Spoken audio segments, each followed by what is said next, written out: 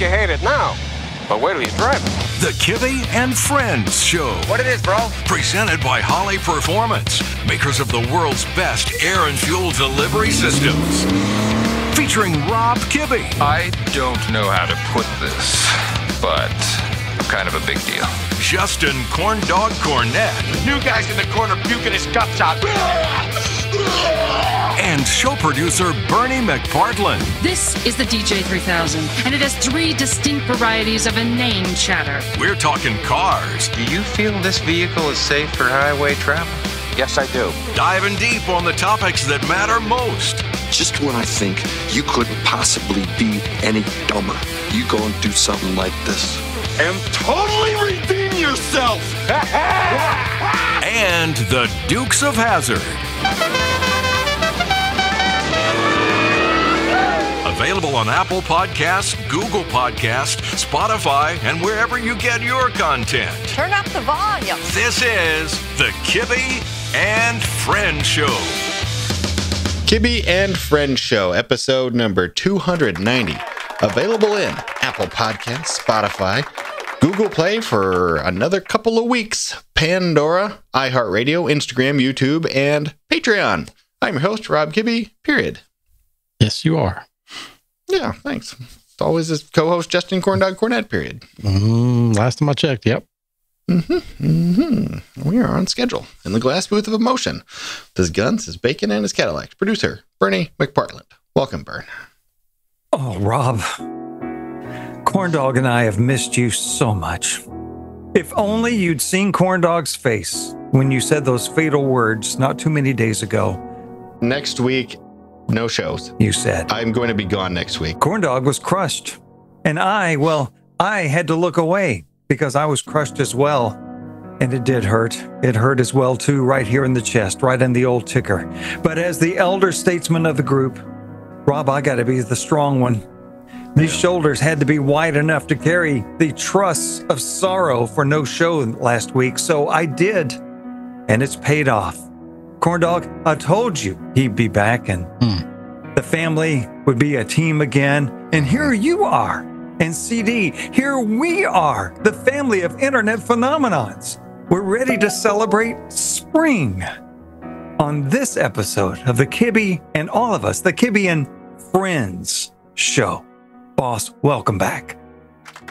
I believe that you, Bernie, did miss it. I do not believe that Corndog thought about it for one instant at all. And I say that as a good friend of his. Uh, but I'm telling you, that door I got- I got stuff to closed. Yep. Call me in two weeks. I will then welcome you back into my mind. Until then, see ya. Well, yeah, we are back, and it uh, two weeks is a a very very long time because this is a weekly, you know, highly topical show, as you know. We're gonna do something fun this week to commemorate being back together. Gonna review a movie. We're gonna review a movie I have wanted to find a way to review since the start of this show, probably. and this is a stretch. A far stretch. It's a car movie yeah. in that there are some cars in it and there is a car chase. We're going to review The Other Guys. It's a 2010 film with with Mark Wahlberg and Will Ferrell. Now, let me list for you the cars that we're going to discuss. Barely. Two Chevelle SSs, a 71 and a 72, a 68 Camaro that makes a very brief cameo, and a 2006 Prius that is actually the star car of the movie. Yep. you end up rooting for it, kind of. Not Um, really. I have seen this movie so many times, including in the theater with my pregnant wife. And Really? I remember laughing to tears. But I didn't realize until this very viewing there's a Dukes of Hazzard tie-in. This movie, I always knew it had a, you know, a host, but I finally realized it's not a host. It's a balladeer. Yes. Just like the Dukes of Hazzard, this movie has a balladeer. Now Yeah. it's a cop movie. It's a hardcore New York City cop movie. So they need someone who can cut that edge of balladeer. They get Ice T from the TV show Law and Order, but also Public Enemy. Yeah, right. it is marvelous. There is not an instant of movie time wasted on anything that isn't funny or that moves the story along. So we will be reviewing that in the second half of the show. I'm excited to see what you guys thought. If you want to know what makes me tick, it's movies like this. This type of humor is my bag. I'm a peacock! You gotta let me fly! Here's what happened since our last show. So, some happy news share with you guys. My daughter Emily has chosen a college. She accepted her offer. So that's my first kid to college. She's going to go. It's a school called Drake here in Iowa. For those of you that are following the NCAA tournament, Drake's in it. They are in the uh, the NCAA tournament. The 2004 Charger has been released publicly. I don't know if you can go buy one, but you can now go order one. Like I doubt they're on the lot. You said 2004. Did I? Yes. I'm gonna blame that on Zoom. There's still a concept at that point. Yeah. Shamrock Shakes. Did you guys get one? I had one. No. Not as good. Where were they at? McDonald's. That's probably why. Went to Disney World. Saw my kids march in the parade. That was fun. Cool. Drove a box truck from Iowa to Orlando and back. Had air and cruise and Bluetooth. Nicest box truck I've ever driven. Really? Wow. Yeah. Not a comfortable ride, but as positively uncomfortable as one could be. No windows and no spare tire, but it had air. And it worked. There wasn't a thing about it that didn't work just fine. Got a fun interview for you, Bern. Uh, went to the company called Revology in Orlando. It's the company that makes reproduction Mustangs. And it's awesome. Hands down, it's awesome. It might be one of the coolest visits I've ever done. Uh, had a one hour interview with Tom Scarpello. He's the president there. So they build Mustangs, soup to nuts. They build Mustangs, brand new 65 to 68 Mustangs there. I learned how they do that. I learned how they legally do that. I learned all of it. But their focus is on fit, finish, and drivability. It was hmm. the nicest Mustang I've ever driven from the 60s. Oh, and I got to drive one. So thanks to Tony Hunemer, he had lined it up and they had a 68 B package car. There's a word that they can't use, but if I were to tell you a B package 68 Mustang, what do you think a B package might be? And I'm just going to tell you that it's, it was a particular shade of green. Something with a very long, sleek back window included. Well, I'm not going to say the word bullet, but B might stand for bullet. I was going to say you could have just used the clue that you needed a black charger to chase you. You could have used would've the better. technical term ballistic. Could have. His is better. I should have said the Charger thing. Yeah, probably. They all run Coyote engines. They're either non aspirated or supercharged. You can get a six speed or a 10 speed automatic. It has modern door latches and hinges in it. And Corndog, you know more about that than I do. But I'm mm-hmm. here to tell you the result is a door that closes like a brand new car. Yeah. I didn't know it was possible, but it is. Ka-chunk. Yeah. It only makes one sound. You sent us that video. I guess it was on YouTube.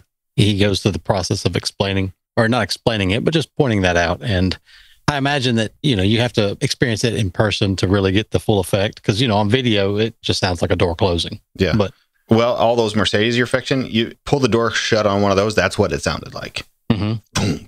Um, Just solid. before you bash in the window with a hammer to take it all apart, close the door once. yeah. That- that's the spirit. Well, Uh, that's exciting. I can't wait to hear the interview and get that done for you because this really, if it's not the top wrong, it's one of the top wrongs in this whole long multi year discussion that we've been having about low volume manufacturing and how that process has evolved mhm. from conception to design to funding to now production and now something viable. So I can't wait to hear that. And that's what's so cool. He's operating outside of all that right now. Legally, completely, perfectly legally. I love it. Listen to the interview for all the details. They build these things, they're brand new. They do not use Dynacorn bodies. They used to. There's a reason they don't. They purposefully use convertible floors for just the reason you would assume. They get a little more meat in a convertible floor, a little more structure in there. If you know a thing about Mustangs, Mustangs, the fuel tank drops in from the top through the trunk.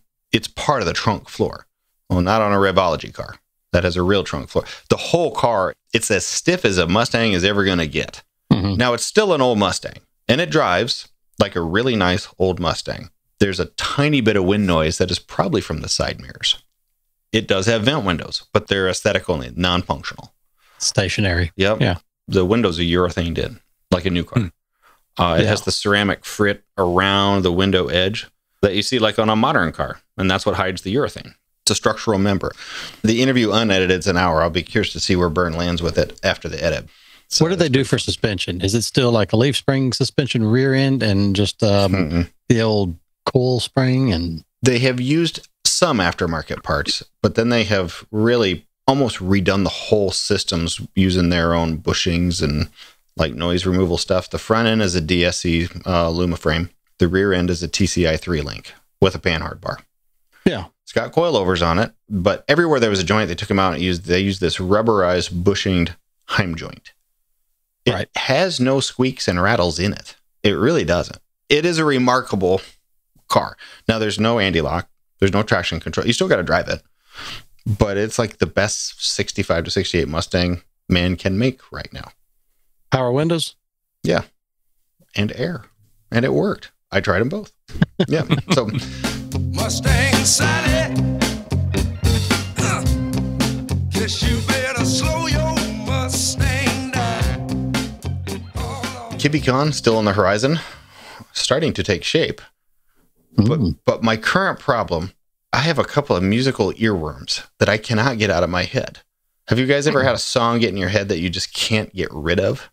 Oh yeah, Yeah. It, It's not annoying yet, but I mean, I can't make it go. There's two songs. Do you want to hear them? Up up headlights and what? this should be interesting. All right, here's the first one. We went to, as a family, like we only had a little bit of time together. So when we got back, we went to see Kung Fu Kung Fu Panda 4. All right. And Jack Black is the voice of the panda. Well, Jack Black also has a band called Tenacious D. All the music in the whole movie is awesome. But at the end, they do a cover of Baby One More Time. And I'm just telling you, it's the coolest song in the world. Here, I'll play it for you.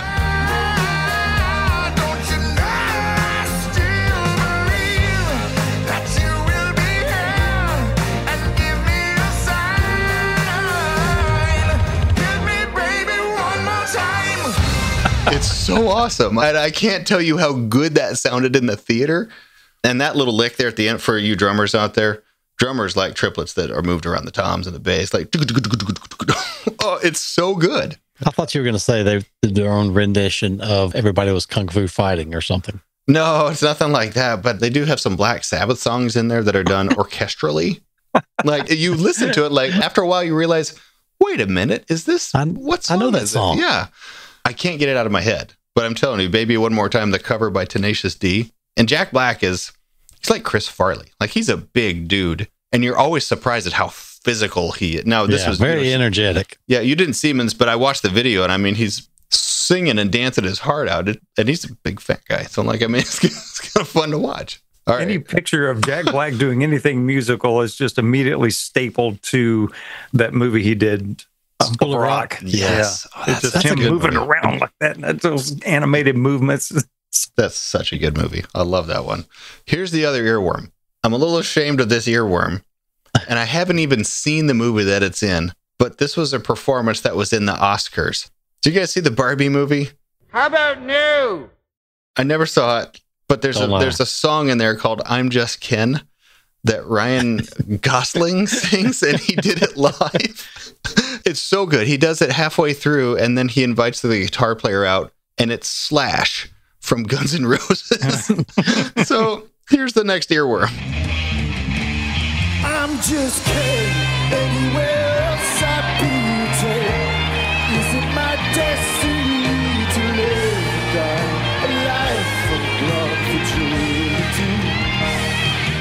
It is weird, but the music of it is outstanding, and the performance. Like I love great effort in musical performance, and it's there. It's really well done. But both of those songs, I cannot get out of my head. Was he wearing his top hat? Slash? Yeah, Oh hell yeah, yeah, and playing the guitar side vertical, you know, like yeah, right. That's the only reason they were cheering in that crowd. It wasn't for Ken or for the movie. It was for Slash. well, this was Yeah, the for Oscars. sure. Yeah, they cheer. They eat their young. I mean, but they were. I'm telling you, it was really entertaining. Again, I haven't even seen the movie. I'm positive my kids have. I think it was one of the movies on rotation the last time we were on an airplane. You're gonna pretty watch it. Don't lie. I also haven't seen Oppenheimer, which I wanted to see, and I never got the opportunity. Did you guys? No. Yes. Bernard, what's your review of Oppenheimer? Plus, good. Yeah, absolutely. It's a long movie, or it feels long, but it's very, very good. I don't know exactly how historically accurate it is, just because I'm not familiar with the history. I'm sure it's pretty close. It's not a laugher and it's not a concert movie, and there's no slash in it, but Yeah. it's good. It basically won all the Oscars best movie, best director, best script, best male actor. Hmm. It almost swept them. Really cool. Should. That's my report. What'd you guys do the last two weeks? Everything. Super. No, I've been working on the RAM charger here and just kind of picking away at it and everything else. So How about you, Bern? What you been doing? Anything? Picking up leaves mostly. We have all these trees on our property, and so I have to break all those up and put them away. And so that's fun. But Chevelle wise, I did get a project done. I've been trying to get a wiring harness upgraded and remade, mainly for the air conditioning circuits and all that for the high speed fan blower and all that. And so I got my harness converted. Thank you, Nathan Warren, for the lead on where to get the new connectors. So I got those integrated in. So she's looking good. Awesome.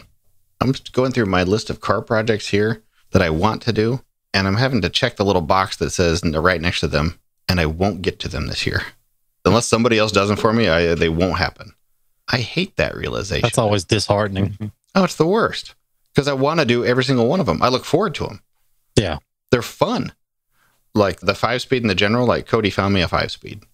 I want to do that myself so bad. It's for me. He's going to do it. He's going to have to do it. Oh, it ain't going to happen. it's not going to happen this year.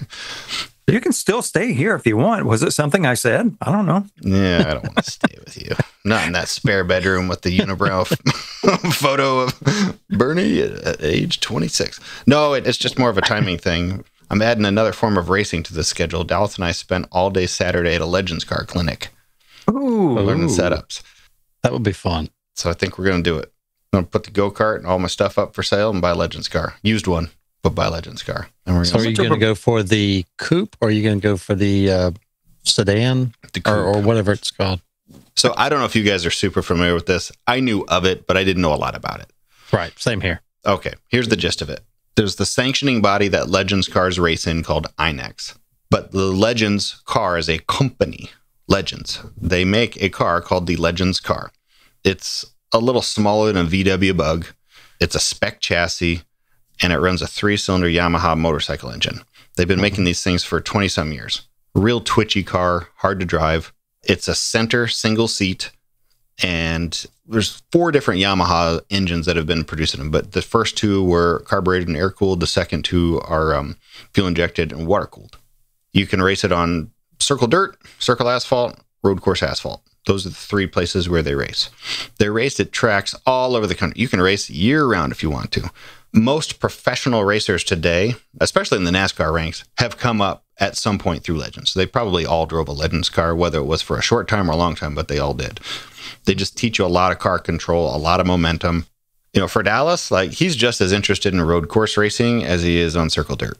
We're going to start out here with a company out of my hometown, Cedar Rapids, that has a dealership. The dealership provides parts and service, probably to pay for their in house race team. And, you hmm. know, it's just a big circle. we sell parts and service so that we can afford to race, and we race so that we know what to do for parts and service. But it's it's probably just a wash. It's owned by a guy that was the kid of one of the dealerships when I was there. There was a family that owned a Pontiac dealership and a Chevy dealership, and he's like one of the kids or grandkids. But he's just a racer. That's all he wants to do is work on race cars, service race cars. So we went over there, and they have a lot of used cars available. They tear them down. They basically kind of do a certified pre-owned car and make sure you don't buy a car that's dangerous. It's a more affordable way to get into it, and that's what I'd prefer to do at least for the first season, and let them get in and try it. There's really no way to go out and just do testing and try somebody else's. You just kind of got to jump in and do it. So I can't afford to be kart racing and legends racing. I just can't do it. And mentally, I don't want to spend the time being in two race series.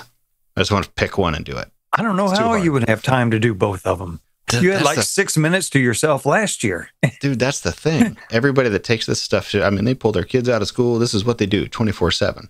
But it's a race series where there will be a 12 year old racing on the same track in a Legends car as a 75 year old in a Legends car, and they'll both be fast and competitive. It is a lifelong series. It really can be. I'm going to dig into this more, and I'll probably put more in muscle car places I figured out. But that was probably the biggest thing we did after all the other stuff was go look at Legends cars. From what I'm told, they're like feral barn cats. Like once you have one, you have two, like because you realize how fun it is. And as I was looking around the room with all the other people there, I noticed there were a lot of fathers and sons or fathers and daughters, and they were both racing. Like, so I'm not starting with one car, and it, he gets to drive it. But I would love to. Then you're going to shoo him out of the way and then slip in there and you start Try driving. that. Oh, that'd be the Let best try that, son, just to make sure it's safe. punishment, wouldn't it be? I'll Did you get your right math back. done? No, get the hell out of there. That's I'm driving it this week. I'll keep you guys in the loop on that. It was fun for me to go learn it. I mean, the karting helped us a ton because we went there to a setup clinic. It was four hours of setup, and if I hadn't had the experience in kart, I wouldn't have even known what the hell they were talking about. But it's amazing how similar it is. What I like about it is it's a spec series. We're not racing other chassis or other manufacturers. It's just a car. Now everybody makes them their own, of course, but it's a spec series. That'll be fun. Looking forward to that. Okay, great. Two weeks in. Thought you might have it out of your system by now. You know what's next? Do you have a Bernie on the news? Yeah, I do. Uh, is it lengthy? No, no, it's not really lengthy at all. I think it's informative. I think it's bright. I think it's Yeah. happy. I think it has a personality of its own. When did you start on it? Last week, Damn it! Two weeks ago. Damn- no, it, it's gonna be. Well, let's get it over with. Uh, everyone, this is the part of the show that you've been waiting for. National Parts Depot pays for it, therefore, it has to happen. This is the award winning newsman, the only newsman we have, the only radioman we have. He is awarded by himself, for himself, about himself, to bring you the news that you need to know that he thinks is important. Here it is, the most trusted man on the internet, Bernie McPartland with Bernie on the news. Take it away, Bernie. news is sponsored by the staff at National Parts Depot, as Rob said, serving us in the hobby now in their 48th year. Well, how was your spring break? No, not the time off from work or school that you took, but rather, how did your spring break? Maybe it was old, maybe it was rusty.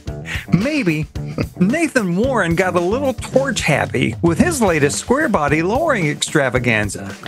Yeah, it happens. Nathan, turn off the torch and know that President Rick Schmidt has your back. Yes, he does. He's got rear leaf springs, the multi leaf design for the standard cab 73 to 87 Chevy truck, part number K750376A. You get a set of those, and then you can relax and start over if you need to. Even if you don't, you can start fresh like a breath of spring. See what I did there? yeah. Start your parts exploration today, 800 874 7595 and npdlink.com. They find, they source, they stock the best. There is a difference, and they got the goods. Is it possible drinking Diet Coke all my life has given me acid reflux? Yes, Huh, maybe that's what it is. very much. NASA, NASA is so cool. Except, of course, when they stop flying space shuttles and, and they give the keys away to the International Space Station. But when it comes to playing with ideas, like, say, the latest experimental supersonic jet, the X 59 that it's called. Now, going supersonic is old hat, but here's what's new, and what's new in that is the X 59 can go supersonic but it can do it supposedly without all the sonic boom that we're used to throughout the years.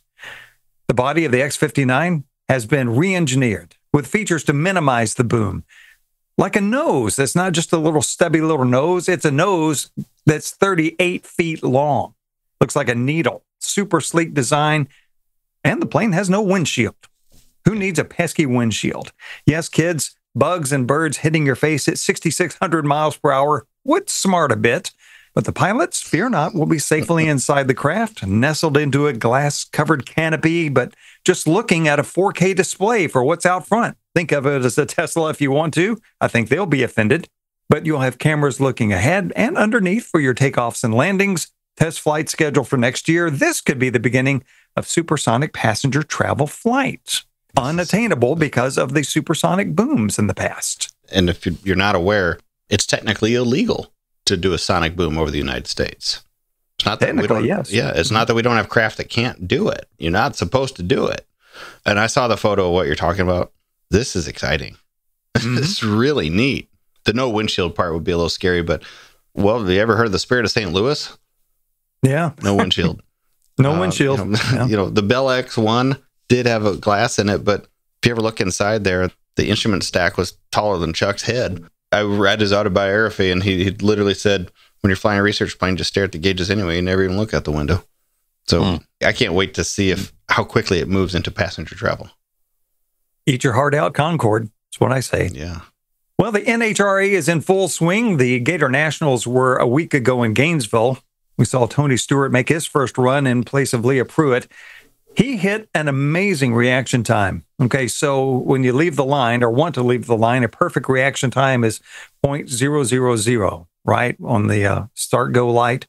That's in the perfect world, 0.000. Tony hit a 0.021. That is hauling the mail. Justin Ashley in the other lane, 0.031. Hmm. Doesn't sound like a lot, but it's an eternity. How old is Tony Stewart? Old enough to marry Leah Pruett. I just Googled. He's 52. He has been successful, phenomenally successful in every form of motorsports he's ever been in. Yeah.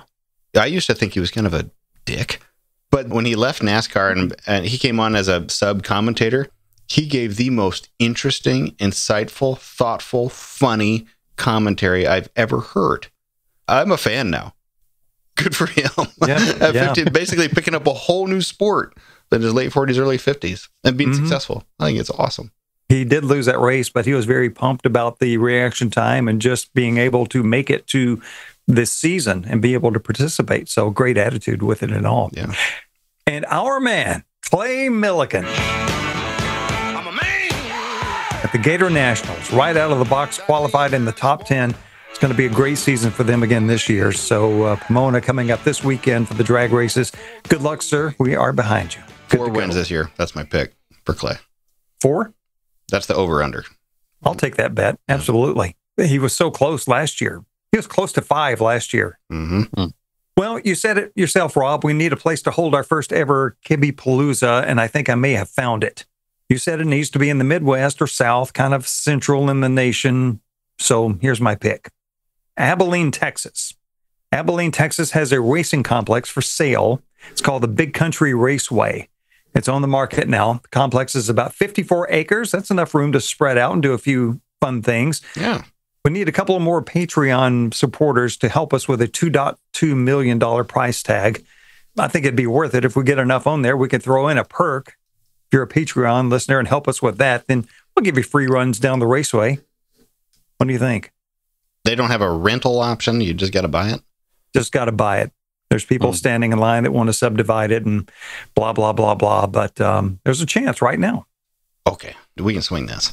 So we're going to buy it, but we're going to pre sell it. Resell the event, and the gate may pay for the. we're going to do a real evil thing here. It'll be worth it later.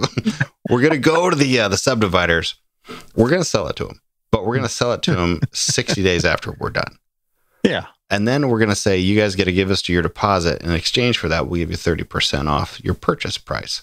But we're going to make sure that no matter how this works out, worst case scenario is we break even on the property by itself. but best case scenario, we put a million bucks in our pocket. Yeah, Let- Let's do that. that is awesome. All right, Rob. Well, finally, you hate the news. I hate this story. So I'm saving the very worst news for last. You're in the competition? You have to hit the brakes Well, man, you can just ask. You make a pretty good team. Or we're not a team. Not a team. or step on the gas. I don't think I could do this crazy thing without you. Shifting Gears. All new Saturday night at 8 on Hallmark. what? It is um, the worst news you've ever heard. Hallmark Channel has struck an all time low, even for them.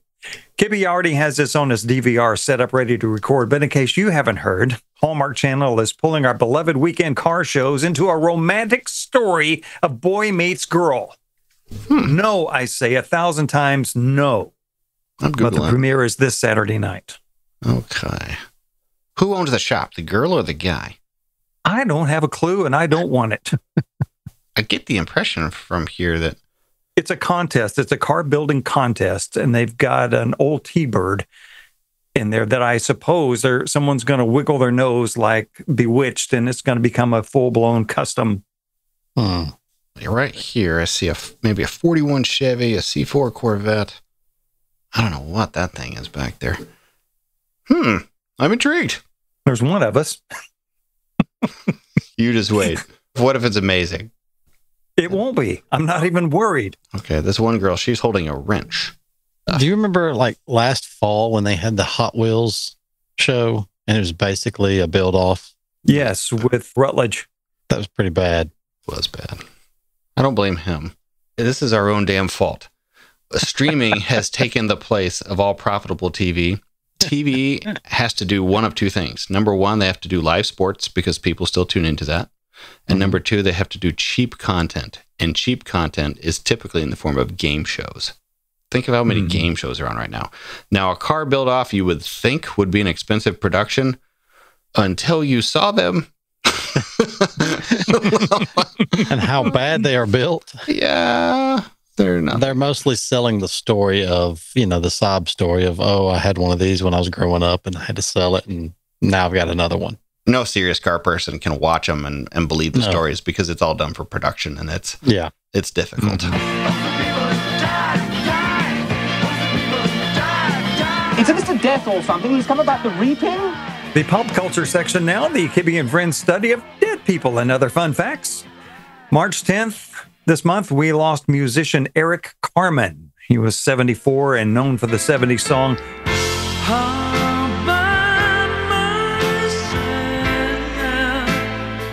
This day in history, Mr. Rudolph Diesel was born in 1858, famous for what? The diesel engine cycle. Very good. Recent birthdays, actors. William H. Macy, one of my favorites, 74. Michael Caine, another one of my favorite actors, 91. And we hit this last week, I think, Johnny Knoxville, 53. Adam Levine, or Levine, Levine from Maroon 5, 45 years old. It's Levine. Levine, I think it is too. Mm-hmm. And the big one, Chuck Norris, celebrating 84 years old. And to celebrate Chuck Norris's, three quick Chuck Norris jokes. Number one, Chuck Norris can dribble a bowling ball. But um bum ching. Number two, the dinosaurs looked at Chuck Norris the wrong way once. You know what happened to them. Number three, there's no chin behind Chuck Norris's beard. It's only another fist. I think I've heard that one. I hadn't heard that one yet. Yeah. Thank you, NPD. We all have our parts to play in life. You've done your part to make this newscast happen. That's your news. I will never not like the Chuck Norris joke. it's something like this. Chuck Norris walked into a feminist rally and walked out with a ham sandwich and his shirt folded and pressed. Yeah.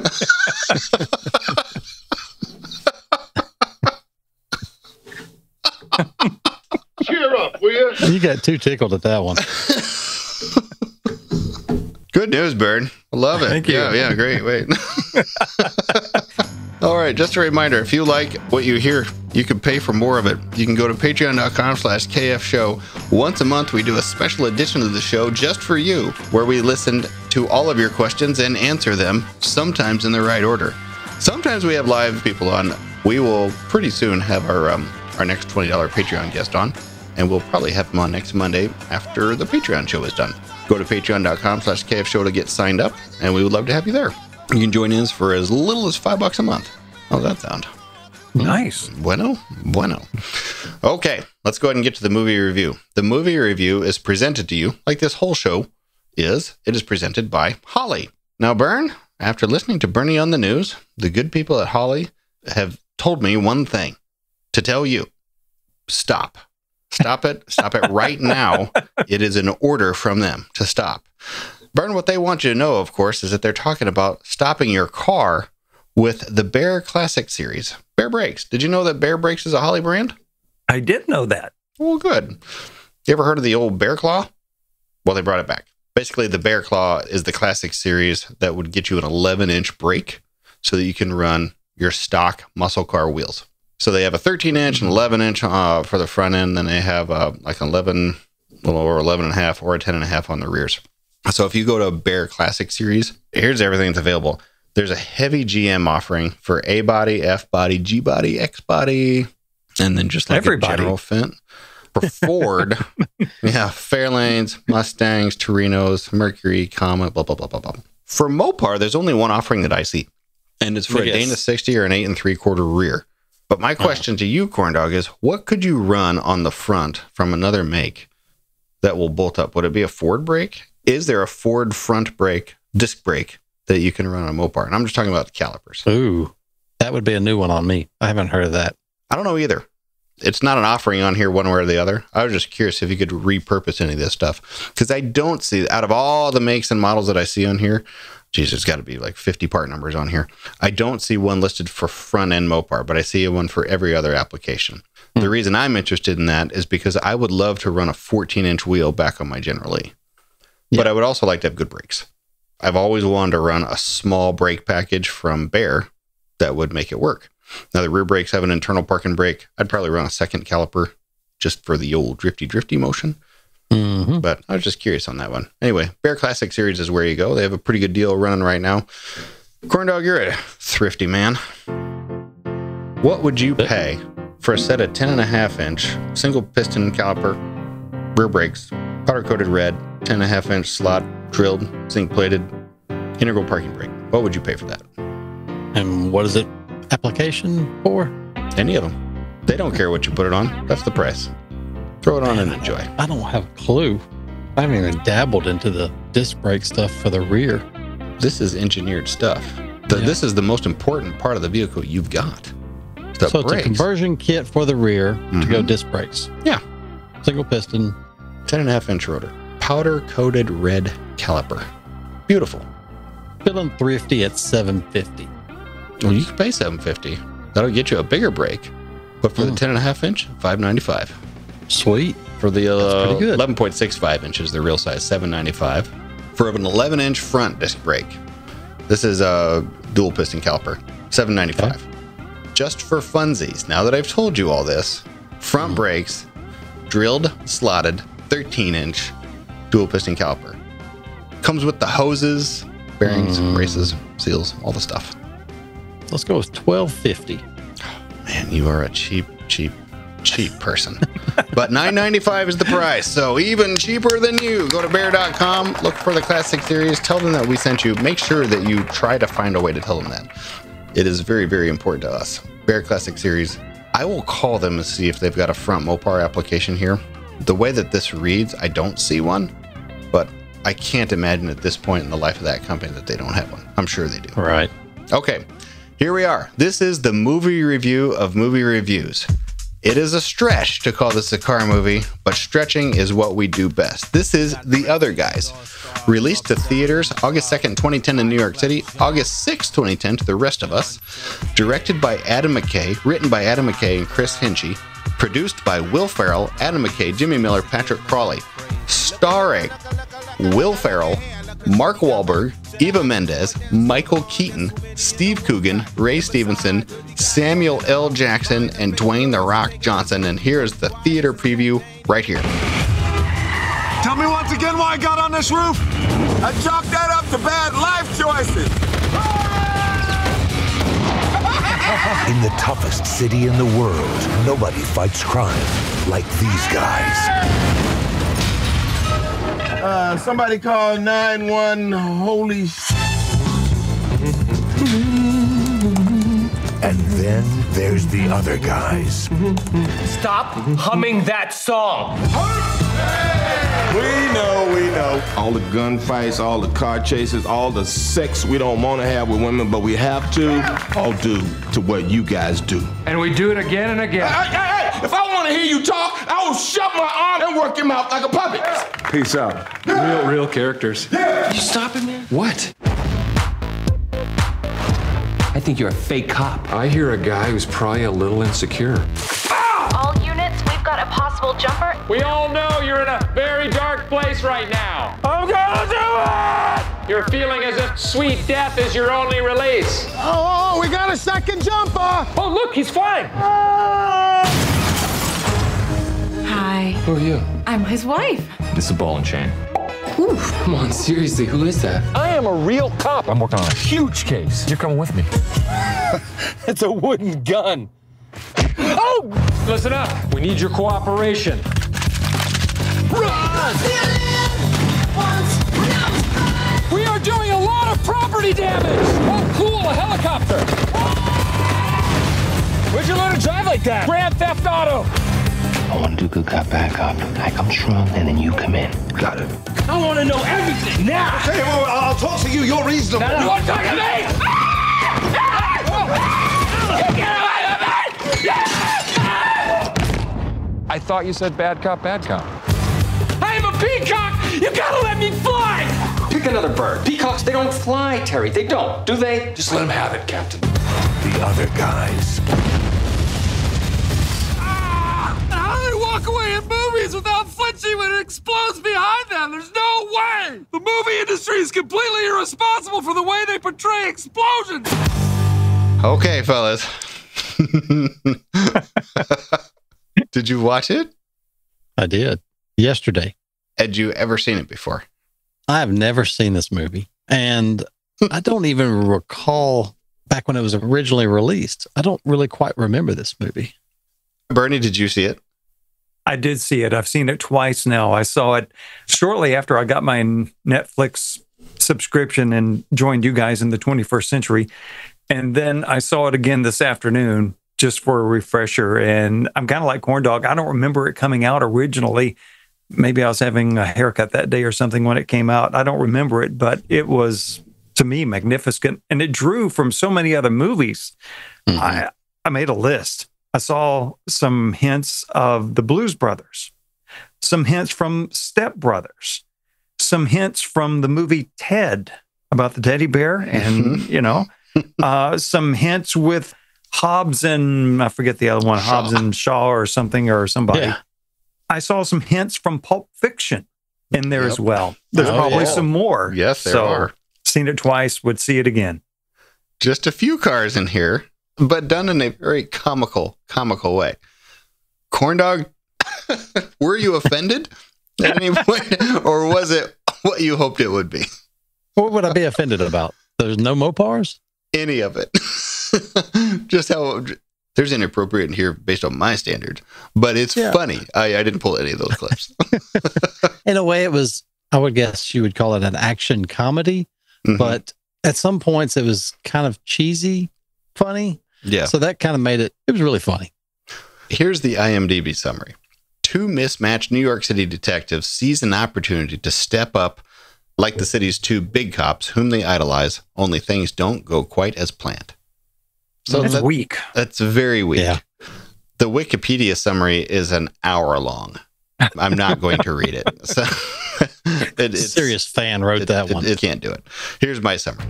If you ever wanted to understand the humor that keeps me up at night laughing, it's this. Two mismatched buddy cops who work for Michael Keaton, who is playing the role of Mr. Mom, take down a Ponzi scheme, the likes we haven't seen since Bernie Madoff.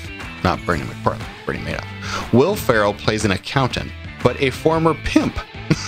and Mark Wahlberg might be playing himself from the movie Departed, but as a spoof and ballet dancer.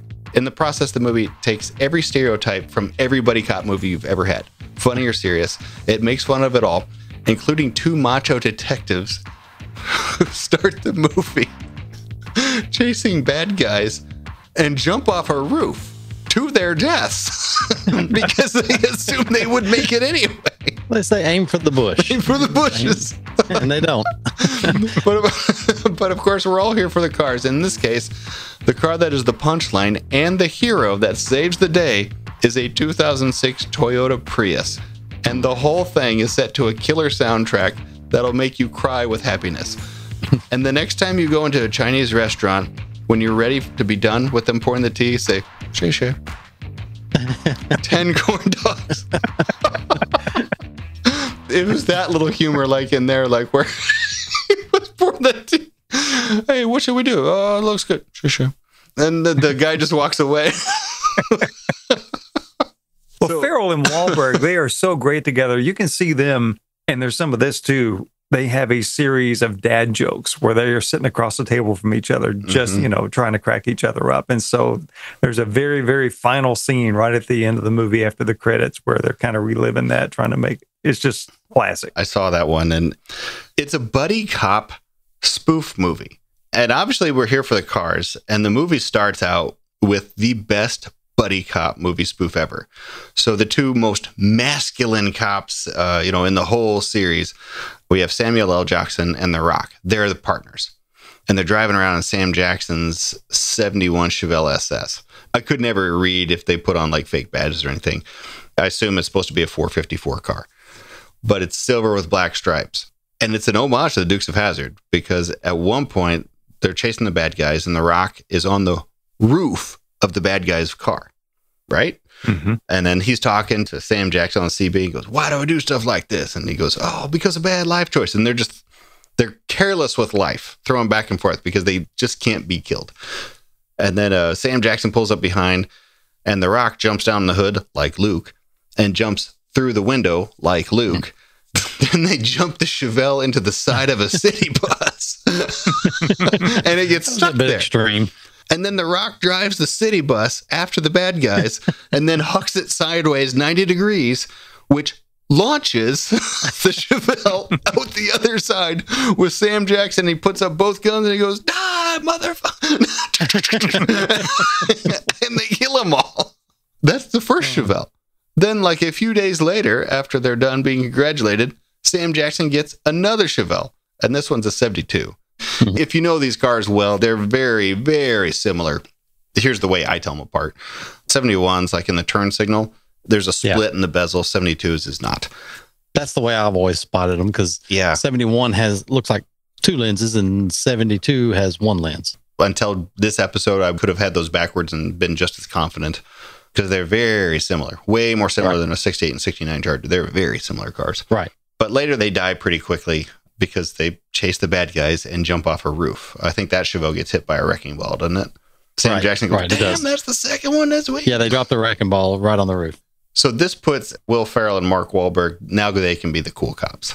And that's the whole point of the movie is they're taking down a Ponzi scheme. Well, there's a, the two groups are battling for who's going to be the cool cop. Yeah, it's Rob Riggle and uh, Marlon Wayans Jr., I think. Yeah. Rob Riggle, he was in Step Brothers. Remember, he worked in the office with the older brother or the helicopter company that was putting on the wine mixer. Let me give you a, a sample of these two. Uh, when they're on their first outing, thinking they're going to be the cool cops. Then what happened? What do you think happened? I woke up, I took the belt off my neck, and I got in my car and I got out of there. Talk about a wild weekend, right? I thought I was going to shoot my way out. what are you going to do, though? You know, bar mitzvah. a little bit of production notes. Adam McKay is the producer, director, writer. Adam McKay and Will Ferrell have a long time comedy partnership. If you enjoy the Ron Burgundy series, you have them to thank for it. Adam McKay has a serious side to him. Do you guys know the movie The Big Short? No. The Big Short is written about the 2008 financial crisis. But at the end of this movie, in the credits, they walk you through what, how a Ponzi scheme works, you know, just with graphics. And the whole thing is to understand the upside down financial model of the country from a certain perspective. Adam McKay is serious in that movie. In this one, the whole thing is a joke. Steve Coogan is basically a crook. He is running a Ponzi scheme. He is getting investors to give him money so he can reinvest. And sometimes he wins and sometimes he loses. He takes more money from the local police department's pension to reinvest, at which point he's going to give it back all to his people and make the, the cops go broke. So Will Ferrell and Mark Wahlberg figure this out, all while getting fired and shenanigans going, and, and Will Ferrell introducing Mark Wahlberg to his wife. She is so beautiful. Wahlberg just says, "Seriously, who is that? Oh, that's my wife. That's the old ball and chain. No, who is that? Who are you? Why are you talking to him?" And Will Ferrell is this police accountant, and all women are just unbelievably, animally attracted to him. Mark Wahlberg's trying to figure out how he's attracting all of these throughout the entire movie. I like when the, they have to go back to an old girlfriend's house of him, of his, to, to get a cell phone. And what did he describe her as? She was um too energetic or too what was it? He described her as something. She was a lot to handle, basically. Yes. They go to the house. She opens the door. She goes, "Hello, Ellen," and he goes, "Hello, Christina." And then she looks at the other guy and she goes, "Who's this?" He goes, "That's my partner Terry." And she goes, "Hello, Telly. Come on in." it's a bizarre movie. Yeah. Will Ferrell drives a Prius, and that's the joke of the movie. Is that these two guys are trying to compete with the former guys who drove muscle cars, but they are in a Prius. But the Prius is actually pretty good in the movie, and it plays its part Mhm. well. So, Corn Dog, what do you know about 2006 Priuses that the world does not yet know? It should have died then. It survives the whole movie, doesn't it? yeah, at some point it finds a gray door. They put the gray door on it, and you know the homeless people they had a party inside of it. hmm Left all sorts of memorabilia for them to find later. I don't care much for the Prius. Well, it's tough being cops with the Prius. Uh, you get Yeah. your balls busted all the time, like this. Detectives Hoyt and Gamble. Detectives Hoyt and Gamble, over. Go for Hoyt. We found your red Prius. Great. Was trying to vote for Ralph Nader. Come on. I love all those little jabs. I think the one you're thinking of is when they find it after the homeless guys. The heist, yeah. Well, here she is. They left her under an overpass for the night. Did You find anything? Yeah, we found a lot of stuff. From bodily fluid and hair samples, we determined that a bunch of old homeless dudes had an orgy in the car. Oh, God. Yeah. You know what that's called when they do that in there? It's called a soup kitchen. It's pretty rough stuff.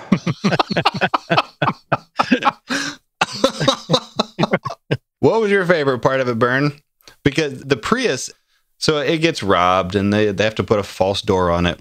They have a car chase in it. And when Will Ferrell hits the gas, he yells, America! And they get shot at and they avoid the bad guys. They jump it. Where does it die? Does it die in the um, the golf place?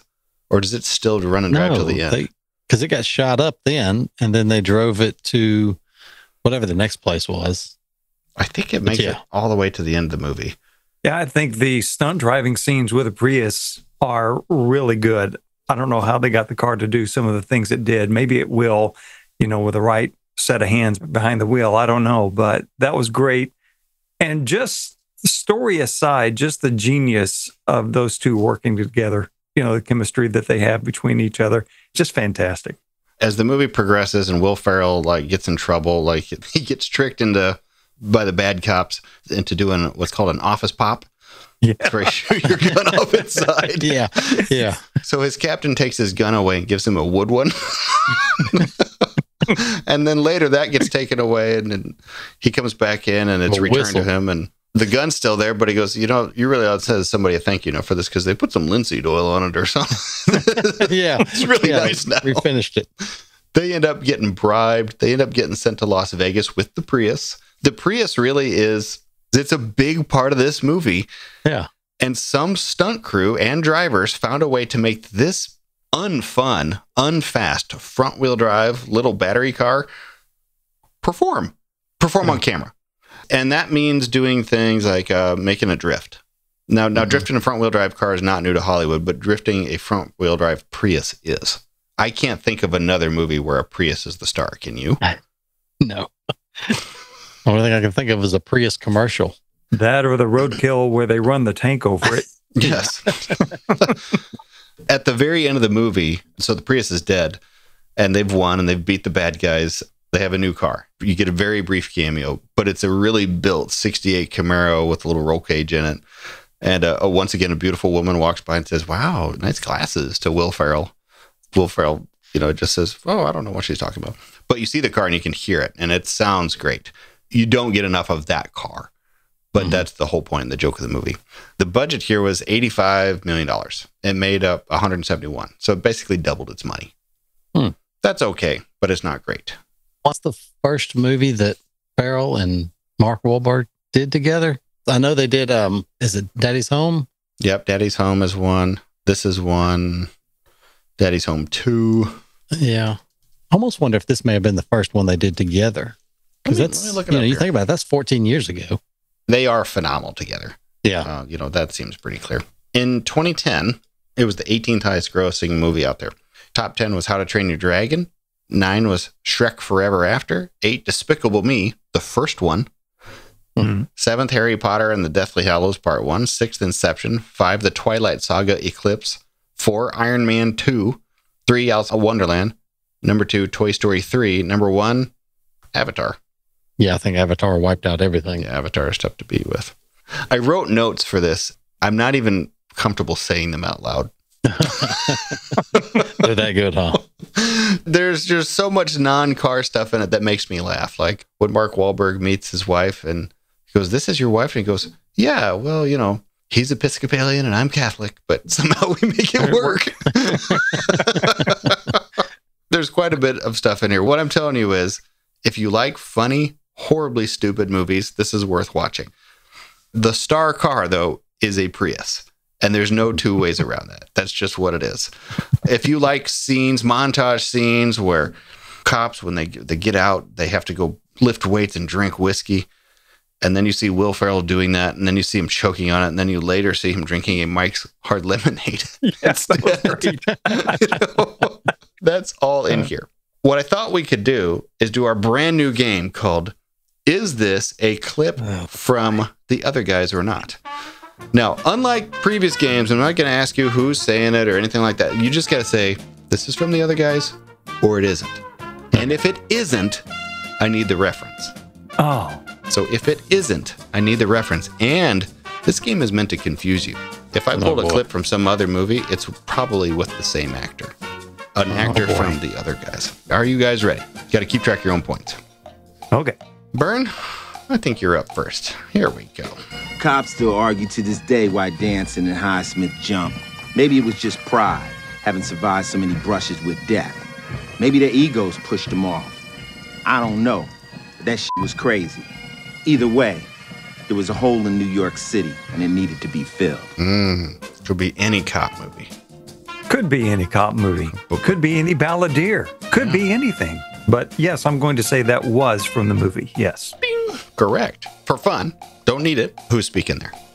I think that's Ice T. You're right. Yeah, absolutely is. One point for Not you. sweet tea. Nice tea. Nice tea. Mm-hmm. All right, corn dog. Over to you. Mm-hmm. Is this clip from the other guys or not? The hell is this? It's my car. It's a Prius. I feel like we're literally driving around in a vagina.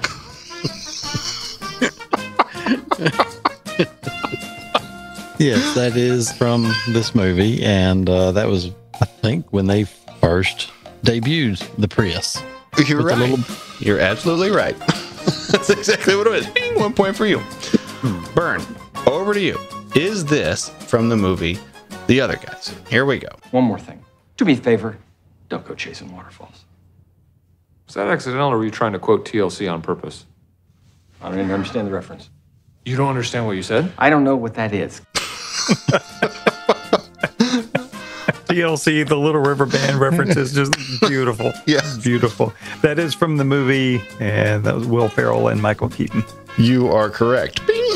All right, over to corn dog. Is this from The Other Guys? Whatever here, Ron. Let me show you what I'm doing. Taking advantage of some of the time off to uh, add a whole new wing on here. I'm gonna rip these walls out and, uh, of course, rewire it.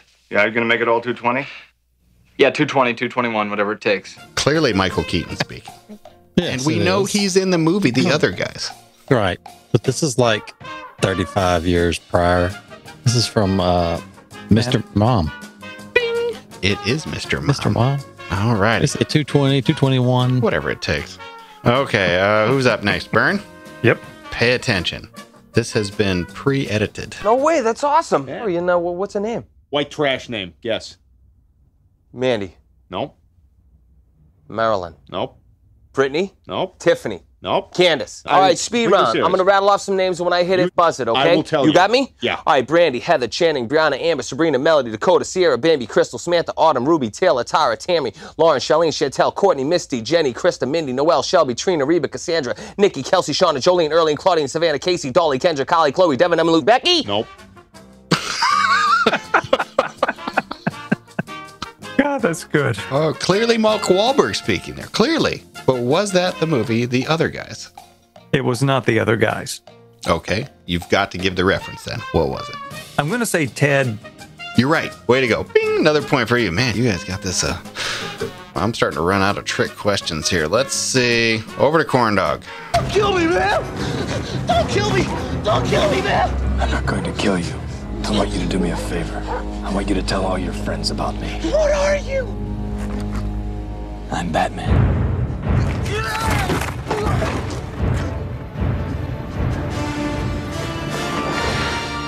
Clearly Michael Keaton speaking. Yeah. As the most feared Batman of all. But was that from the movie The Other Guys? Because it's hard to say. Michael Keaton could say anything in here. Yeah. I mean, he did work at Bed Bath and Beyond and was the police chief. Very true. That was uh, Batman. You're correct. One more for each of you. I'm whittling this game down. I'm going to come up with the most difficult ones that are possibly on here. Okay. All right. There's no way you'll get this one right. Okay, Bern. You're up. I hope you like prison food and penis.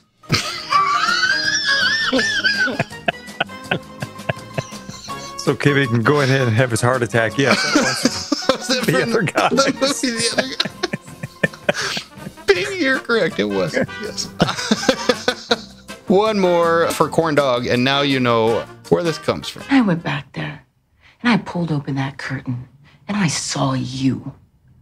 You were weak, scared, ass up, inflamed, crying. At that moment, I knew hey, he's no pimp. Pimps don't cry. Ass up in flame, Corn Dog. was that from the other guys? Yes, that was at the dinner table of the other guys. Bing, you were correct. A perfect cake for you both. No tiebreaker needed. You're clearly excellent at this game. I know you've got the clip of Will Ferrell going to his alter ego. Oh, Gator? Yeah. no, I don't. I have one more of Michael Keaton, though, that just makes me cry. I think it's this one, just for fun. All right. Then you do us proud. Because I don't want no scrubs. Really? No. You're not aware that's a TLC song. I have no idea what you're talking about. It's You said chasing time. waterfalls. Now you're saying you don't want no scrubs. I don't even understand the reference. It's like a tick. I have no idea what you're talking about. Remember, this thing gets messy. We never talked. You can trust us. Real quiet. You gotta creep. Creep. Come on. The more I've watched this, the more I've realized how difficult it was to make. They had very few takes where they didn't have somebody laughing or choking up. Yeah. Even in that one, Michael Keaton's laughing hard. His head is facing away from the camera. Way to go, Anybody that works with Will Ferrell, it's going to be a laugh session throughout the entire movie. But there's somewhere he's laughing. He's he clearly cuts up, choking yeah. up. Yeah. So that brings you to the conclusion of our movie, The Other Guys. Barely some cars in it, but there were some cars in it. If you were in the tech crew for this, we'd love to hear from you, especially the parts about the Chevelles, not so much the Prius. You know what? If you drove the Prius, hats off to you. Tell us how you did that too. You know what? I looked. Jack Gill was in this and Gary Baxley. Really? Yeah. So there's your Dukes of Hazzard as well. Well, Jack Gill was he was in Talladega Nights as well, right? Yeah. He was the uh, blindfolded driver driving down the street and did it blindfolded. So he must have a relationship with Will Ferrell. Probably so. Is I mean, it- he had a Would you, uh, relationship with uh, Michael Jackson and, you know, everybody. Would you I mean, shoot he- him a note and just ask him if he was in this movie or what he did? yeah. I'd love to know. That'd be cool. I would He may have absolutely love to know. Prius driver. Yeah. Ask him if he got the date the cougar in the movie too. Oh, Christina. She's good looking. Oh, you missed it. I'm talking about the cougar in Talladega Nights. Oh, okay. I thought you were talking about the, The cougar, cougar, in, in this movie. Okay, that brings you to the conclusion of our review. Make sure that you leave us a rating for this in Apple Podcasts while you purchase your Baer Brakes and tell Baer Brakes all about it while you sign up for the Patreon show at patreon.com slash KF show. Fellas, anything else before we go? I'm just glad to be back at it, back after spring break. And I wish we would have had a spring break show, but I mean, it's good. you know, with my name, McPartland. Mm-hmm. I got some Irish in me too. So I got a lot of family deeds that go back a long way in that. Some St. Patty Day feats. You know, my great uncle Lars, he used to compete in what they call the world's strongest man contest. They call it that now, but he didn't do it nationally. He kind of did it in local fairs and events around the township where he grew up. He was a champion team breaker. What he did, he was one of two guys that would grab a hold of either end of something and break it, right? Mm-hmm. He was a breaker. He broke wagon wheels.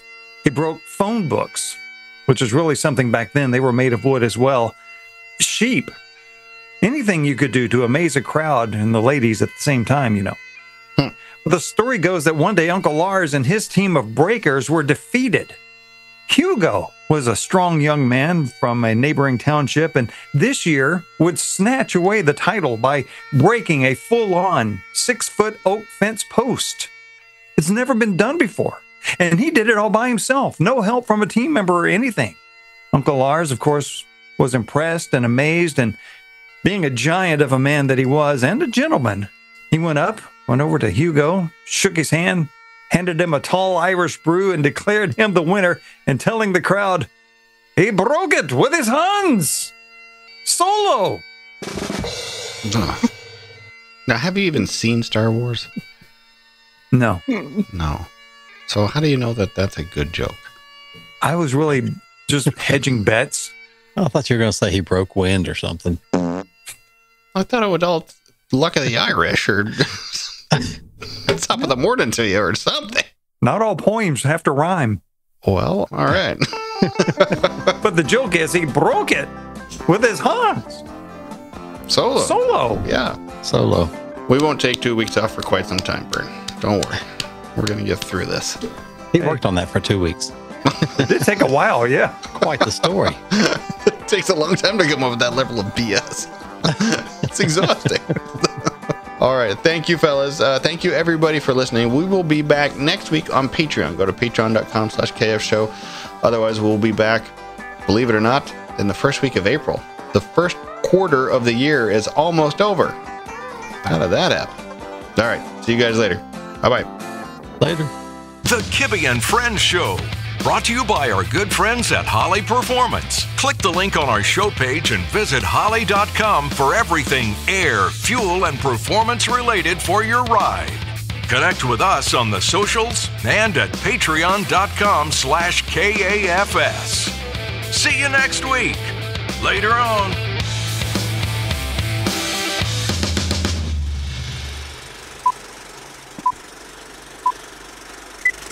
Cops still argue to this day why Danson and Highsmith jumped. Maybe it was just pride, having survived so many brushes with death. Maybe their egos pushed them off. I don't know. But that shit was crazy.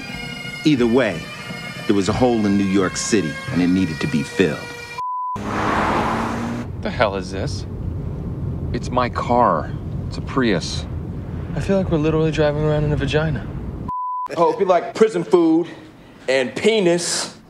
So then what happened? What do you think happened? I woke up, I took the belt off my neck, and I got in my car and I got out of there. Talk about a wild weekend, right? I thought I was going to shoot my way out. what are you going to do, though, you know? Bar mitzvahs. All right. Then you do us proud. Because I don't want no scrubs. Really? No. You're not aware that's a TLC song. I have no idea what you're talking about. It's you said chasing time. waterfalls. Now you're saying you don't want no scrubs. I don't even understand the reference. It's like a tick. I have no idea what you're talking about. Remember, this thing gets messy. We never talked. You can trust us. Real quiet. You gotta creep. Creep. Come on. One more thing. Do me a favor. Don't go chasing waterfalls. Was that accidental or were you trying to quote TLC on purpose? I don't even understand the reference. You don't understand what you said? I don't know what that is. I went back there and I pulled open that curtain and I saw you. You were weak, scared, ass up, inflamed, crying.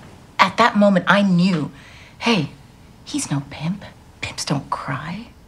Detectives Hoitz and Gamble. Detectives Hoitz and Gamble, over. Go for Hoitz. We found your red Prius. Great. Was trying to vote for Ralph Nader. Come on. Okay, Well, here she is. They left her under an overpass for the night. You find anything? Yeah, we found a lot of stuff. From bodily fluid and hair samples, we determined that a bunch of old homeless dudes had an orgy in the car. Oh, God. Yeah. You know what that's called when they do that in there? It's called a soup kitchen. It's pretty rough stuff. But let me just quote the late, great Colonel Sanders, who said, I'm too drunk to taste this chicken. No way, that's awesome. Oh, you know, well, what's her name? White trash name. Guess. Mandy. Nope. Marilyn. Nope. Brittany. Nope. Tiffany. Nope. Candace. I- All right, speed we round. I'm gonna rattle off some names, and when I hit it, buzz it, okay? I will tell you. You got me? Yeah. All right, Brandy, Heather, Channing, Brianna, Amber, Sabrina, Melody, Dakota, Sierra, Bambi, Crystal, Samantha, Autumn, Ruby, Taylor, Tara, Tammy, Lauren, Charlene, Chantel, Courtney, Misty, Jenny, Krista, Mindy, Noelle, Shelby, Trina, Reba, Cassandra, Nikki, Kelsey, Shauna, Jolene, Erling, Claudine, Savannah, Casey, Dolly, Kendra, Kylie, Chloe, Devin, Emma, Luke, Becky. Nope. Come on here, Ron. Let me show you what I'm doing. Taking advantage of some of the time off to uh, add a whole new wing on here. I'm gonna rip these walls out and, uh, of course, rewire it. Yeah, you're gonna make it all 220? Yeah, 220, 221, whatever it takes. Don't kill me, man! Don't kill me! Don't kill me, man! I'm not going to kill you. I want you to do me a favor. I want you to tell all your friends about me. What are you? I'm Batman.